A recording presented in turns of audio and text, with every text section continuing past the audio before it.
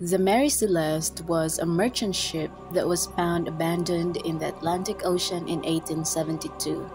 The ship was in good condition and still seaworthy, but the crew and the passengers were missing and were never found.